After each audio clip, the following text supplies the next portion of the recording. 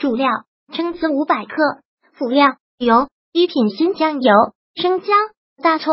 准备时间十分钟内，制作时间十到二十分钟。老蛏洗净备用，备好葱和生姜，将葱切成葱花，水加入姜片，烧开后把老蛏炖烫一下，捞起摆盘，淋上一品鲜酱油，撒入葱花，将油烧热后浇上老蛏上面即可。写上四个的标签属于是我的。马上开动。烹饪技巧一：如果喜欢糖醋，可以把酱料换成糖醋味即可了。二一品鲜酱油是针对海鲜用的，可以不用添加盐和味精了。如果喜欢本视频，请分享并订阅本频道，访问 T T News 点 X Y Z 获取更多相关资讯。